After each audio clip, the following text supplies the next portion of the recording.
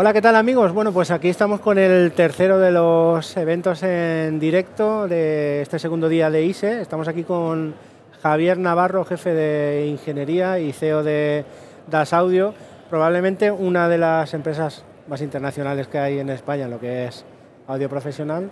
50 años, ¿no? Creo que... Más de 50. Buenas tardes, Paco. Eh, sí, sí, nosotros somos una empresa que ha cumplido cinco años, 50 años hace tres años, tres, para cuatro. Y bueno, eh, presencia internacional desde siempre. La verdad que ahí el, fundador de la empresa siempre lo tuvo claro. Das Audio es Dynamic and Sound. Siempre tuvo la visión de, de que la empresa, de que el negocio iba a ser algo internacional globalmente. Y de hecho los orígenes de la empresa siempre fueron, pues venta en Europa al principio, eh, feria de Rimini en Italia, Londres, París. Pero bueno, sí, ha sido... Y de hecho para nosotros sigue siendo la tendencia. Nuestro, nuestro negocio se basa en un 90-95% en, en, fuera de España. Muy bien. Y eh, eso es mucho decir porque hay que ver la edad que hay por España. Bueno, son muchos años. del perdigado. Sí, sí, sí, son muchos. A ver, evidentemente para nosotros España es, es, muy importante, es un mercado muy importante. Es el mercado con el que al final nosotros como fabricante tenemos más interactuación con el, con el cliente final, con el usuario final con lo positivo que tiene eso, ¿no? Del tema feedback, sobre todo. Pero sí, sí, eh, la cifra en España es, importante, es importante. Yo recuerdo todavía, eh, tenía un sistema en mi época de mozo, que era el, ST, el 218, el 215. Wow, las cajas apiladas, claro. y aquello, con esos motores de 4, pulgadas, el, K, 8 era K8, sí. Bueno, las tecnologías han cambiado mucho, la evolución la física que hay detrás de un altavoz sigue siendo la misma, porque eso no ha cambiado, pero bueno, lo que ha evolucionado son, son sobre todo los materiales y la electrónica que ha dado pasos, bueno, de gigante. También creo yo que, el, formato de, de, o sea, la manera de trabajar ¿no? del sector también cada vez ¿no? buscando equipos más pequeños y, versátiles, más versátiles. Más, más, fáciles de manejar, pero con más prestaciones de cara a hacerle la vida más fácil al usuario final. antes era como, yo recuerdo, ¿no? Que o llevabas una pila de altavoces ahí del copón o era como, esto no... No, no, en ese sentido todo el mercado se ha profesionalizado mucho en el sentido de que ahora hay softwares de predicción acústica, a la gente ya no se le ocurre lo, que te me estás diciendo tú de apilar, claro. pasa, pero, pero, pero la verdad que hoy en día con los line array sobre todo, pues el, concepto ha cambiado muchísimo. Ya tienes que ir con unos deberes previamente hechos para, para hacer la instalación del sistema. Hay también muchísima más, eh, muchísimo más acceso al conocimiento del que teníamos antes, ¿no? que era mundial, lo que te contaba el colega o lo que tal o lo que tú mismo experimentabas. Claro. Pero bueno, bueno, y a lo largo de, esta trayectoria habéis tenido varios hitos y en concreto aquí en ISE eh, estáis presentando lo que es la familia Ara. Sí. Eh, Ara empezasteis con, con, Lara, es un equipo que ahora entrarás en detalles, ¿no? que yo mm. he tenido el gusto de, de, poder escuchar tanto por delante como, bueno, muy mal por detrás, sí. pero sí, ver ese funcionamiento cardioide ¿no? de, mm. de esos tops y, y el, el, sub, el Lara. Y ahora estáis presentando el Sara, ¿no? que sería una versión reducida. Pero ¿qué nos puedes contar, aunque ya sabemos mucho ¿no? sobre, o hay bastante información sobre Lara, eh, empezando por conocer un poquito la, la historia, ¿no? ¿Cómo surge...? sí, yo te cuento, el proyecto es un proyecto global a nivel DAS. Desde que yo estoy en DAS, que ya va para casi 23 años, sin duda el proyecto más complejo y con mayor reto tecnológico, sin duda, porque esto empieza a gestarse hace cuatro años o más. ¿Cuatro años? Sí, sí. Pero claro, em, tenemos eh, sistemas acústicos que llevan transductores que son totalmente nuevos, diseñados por nosotros también. Está la parte de amplificación y la parte de procesamiento digital, que es totalmente nueva, y ahí se le ha dedicado mucho tiempo y recursos, y el software. Entonces, al final ha sido un proyecto ejecutado en, muchas vertientes. Tenemos lo que es la, propia acústica del sistema en sí mismo o los sistemas, la parte de la electrónica, comunicación por IP, con Ethernet, con el software, con Alma y el desarrollo de Alma con todas las nuevas tecnologías. Entonces, es un proyecto, ya te digo, empezamos hace cuatro años y lo empezamos ya pensando en que lo que íbamos a hacer es una familia de productos Y todo ese core, esa placa de procesamiento con esos conversores, lo estamos utilizando en la serie ARA y en la serie Integral. los dispositivos de instalación, el core, el cerebro. Lo que más me, me alucina es eso. Claro, o sea, claro. estáis llevando la tecnología del live a, a, la instalación. a la instalación. ¿Por qué? Pues porque nosotros en el, en el. Te lo pongo muy fácil. Para hacer una caja como Lara, que es una caja multicanal, es un sistema de cuatro vías cardioide, nosotros necesitamos un DSP multicanal y entonces el, dispositivo, el chip que estamos utilizando, tiene ocho canales de salida. ¿vale? Entonces nosotros estamos utilizando ocho canales de salida de ese procesador y ese hecho de, los canales de salida lo hemos aprovechado para los dispositivos de instalación de la serie integral. Pero el core y el, el hardware es el mismo en todo. Cosa que a nivel a nivel de referencias, a nivel de desarrollo de producto, a nosotros nos facilita que todo sea igual, porque luego para los, desarrollos de firmware y todo es lo mismo. Sí, pero utilizar la, eh, misma plataforma, no sé, lo veo complejo porque tienes que adaptarla a dos aplicaciones tan diferentes, ¿no? Pero, pero es mejor... Te, hablo sin conocer algo, ¿eh? no, no, no, no, lo conozco. Eh, sí, sí, hay que adaptarla, pero como ya has trabajado con ella, ya sabes cómo, o sea, no es como, una plataforma totalmente nueva que tuvieses que crear. Entonces, moldearla, a ver, lo que, había, lo que teníamos claro desde el principio es que la íbamos a usar para todas las cosas. Entonces, teniendo eso en mente, ya es más fácil luego hacer ese ajuste fino o esa customización específica para la aplicación. Y bueno, pues nada, la serie ahora, pues eso, eso luego nos, nos pilló la pandemia, que ahí, eh, ahí frenamos con la serie ARA y pusimos más esfuerzo a la serie integral por instalación ¿vale? Y finalmente el año pasado lanzamos el, primer sistema, el Lara, al, mercado, ¿vale? Vale, y pasando ya un poquito a Sara, ¿no? que sería como el, hermano pequeño de, de Lara, ¿qué nos puedes contar? Porque es una novedad de, de ISE. Sí, bueno, a ver, de él? Eh, sigue los parámetros principales de la serie. La serie ARA está concebida bajo unas líneas de actuación muy claras, unas premisas de, características que nosotros consideramos muy importantes. Una es rango dinámico, es decir, los sistemas tienen mucha más potencia de la que en teoría los altavoces necesitan, pero eso al final se traduce en, poca distorsión, en que tienes, tú notas que el sistema tiene eh, potencia de reserva disponible. Entonces es una característica que Sarat lo tiene y su sub también. Eh, tienen la optimización con Dasheim, gracias al procesador que tenemos, podemos hacer la optimización con Dasheim, con los filtros FIR, eso lo tienen todos los sistemas también de la serie.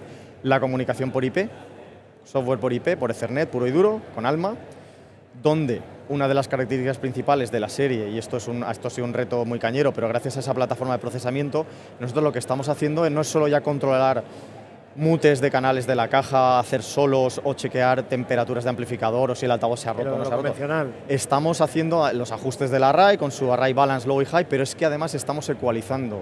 Podemos ecualizar directamente creando grupos en el software, PA izquierda, PA derecha, tú puedes crear un grupo, un grupo global de ecualización y ecualizar directamente en las cajas, sin necesidad de un procesador externo. Y luego cada caja también tiene su pestañita de ecualización individual. Podrías, por ejemplo, no sé, imagínate un array... Eh 12 cajas, mm. podrías hacer un tiro largo, medio, corto. Directamente ecualizando en las cajas con el software. Qué bueno, tío. Sí, sí. entonces, eh, claro, eso, y eso, pero eso es gracias a la potencia que tiene el DSP interno. Entonces, eso es una de las características que, tiene toda la serie, Sara también la tiene, por supuesto, y bueno, básicamente es eso. Entonces, Sara es un complemento dentro de, la serie, Lara es el sistema más grande, Sara de momento es el, el más pequeño, vendrán más cosas en el futuro, y Sara, bueno, eso es una caja que lleva doble 8 y motor, ¿vale? Eh, motor de bobina de 3 pulgadas, igual que el mismo motor que toda la serie va a llevar el mismo compression driver por, por uniformidad tímbrica. Y su sub asociado es un 18 con un 15 pulgadas atrás, cardioide, que se puede colgar, se puede apilar. Un solo 18 delante y un 15 detrás. Un 15 detrás. ¿vale? Para que se hace un equipo multi, Bueno, es un equipo que viene a ser un equipo de formato medio para hacer cosas al aire libre, para hacer cosas indoor, que te puede servir para, para muchas, como complemento del ARA. ¿Qué equilibrio habréis eh, estimado entre sub y top? ¿1-1 No, con, estamos ahí con un, Normalmente ese sub se va a utilizar para cosas indoor, entonces ahí estaremos con un equilibrio 2 a 1 o algo así. Vale, 8-4, será un, un equilibrio... Pero también hay que decir que como miembro de la familia ARA, Sara es compatible con Lara Sub también. Yo lo que veo es mucha aplicación del ARA Sub, del triple 18 al aire libre, con Sara. Claro. Para, eventos claro, Sara como... A ver, a mí, pensando en el profesional de los eventos, O sea, veo una PA hiper mega potente con, con Lara y un front field cojonudo con Sara, que al mismo tiempo tienes tienes una, PA, una, PA para, para, eventos más... Sí, sí. pues lo que puedes hacer hoy en día con un Aero 20, por ejemplo, pues es, la, es la, evolución natural. Claro. El SARA es la evolución natural del, del y, Aero 20. Y a nivel de, de, prestaciones, en cuanto a SPL, rango de, dinámico, respuesta en frecuencia y tal. Sí, respuesta en frecuencia, con nosotros los, las mediciones que tenemos, la caja baja hasta 65 Hz menos 6 dB. ¿Vale? Entonces, cuando cuelgas un array, que hay un acoplamiento de medios graves, ese, ese, efecto, o sea, el equipo sorprende. Tú, tú, dices, ostras, lo que hay ahí son 8 pulgadas, no me lo creo. Baja hasta 70 bien. Es que eh, estuve viendo la caja sí. esta mañana por allí y he visto unos resonadores. Sí, bueno, esos son los puertos resonadores de, él, de la cámara de los 8 pulgadas.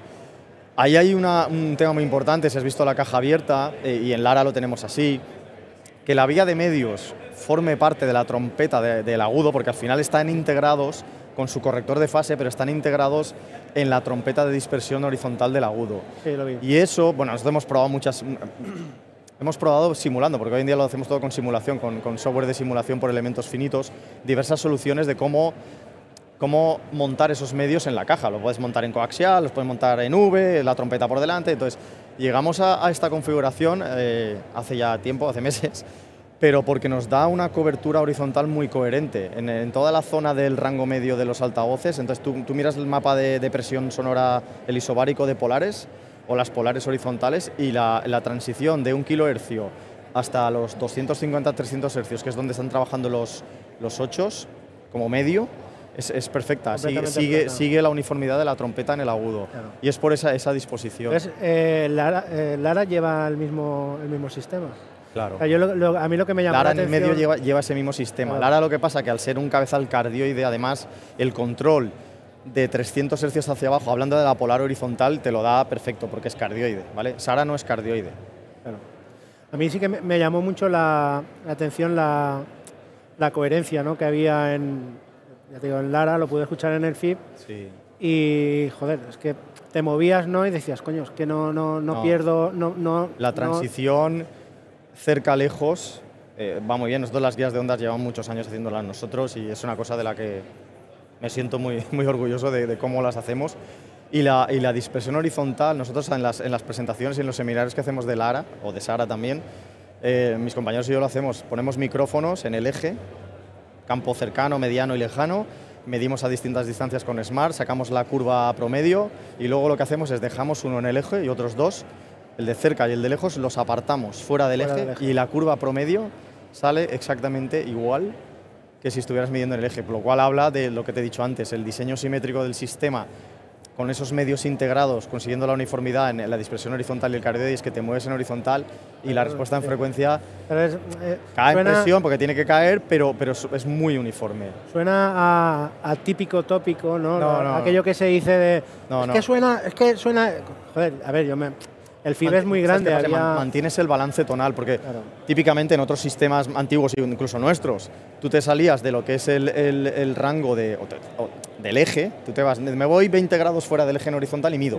Claro. ¿Qué pasa? Que la respuesta en grave medio se te mantenía al nivel y el, y el agudo, cuando empezaba a controlar la trompeta, cae, que es lo que tiene que pasar. Pues con estos sistemas lo que estamos consiguiendo es que esa caída de, de, presión sonora, porque tú te mueves fuera del eje, se mantenga uniforme en todo el rango de frecuencia, con lo cual el balance tonal lo que tú escuchas es, se te mantiene, estés donde estés. ¿Y qué, qué, dispersión? El sistema que tenemos aquí es de 100 grados. 100 grados. Sí. O sea, eh, entiendo que hay más versiones, ¿no? Sí. Si me has dicho... sí, ese vendrá más tarde, vendrá un SARA 80 más tarde. Lara tenemos dos versiones también, 100 y 80, y SARA haremos lo mismo. Hemos arrancado con la de 100 y nada, hemos empezado a fabricar esta semana. ¿Y qué SPL habéis medido? Pues si no recuerdo mal, son 137 de pico. Es parecido al Aero 20, si no recuerdo ¿Y en mal. peso? ¿Sobre qué peso? 32 kilos. 32 kilos. Sí, todo el componente de neodimio, sistema de rigging como toda la familia, pues dos puntos adelante y punto trasero. Muy cómodo eso. Me, me gusta mucho. Eh, nosotros, ¿sabes qué pasa? Hemos, hemos, pasado a lo largo de la historia por la serie Even llevaba un sistema de rigging, los Aero llevaban otro.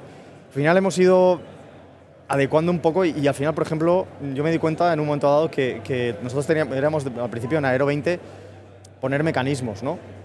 Y al final dije, vamos a quitarnos los mecanismos, las bielas tienen que bajar solas por gravedad y si quiero acceder a, bloquear algo, lo hago con pasadores.